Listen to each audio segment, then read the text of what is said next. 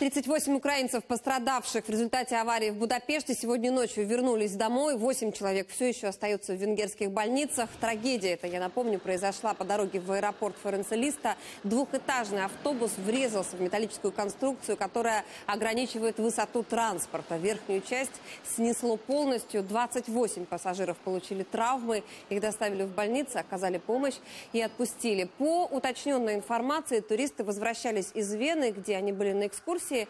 Почему водитель автобуса не обратил внимания на предупреждающий знак, сейчас выясняют венгерские правоохранители. Он находится под стражей, и экспертиза показала, что мужчина был трезв.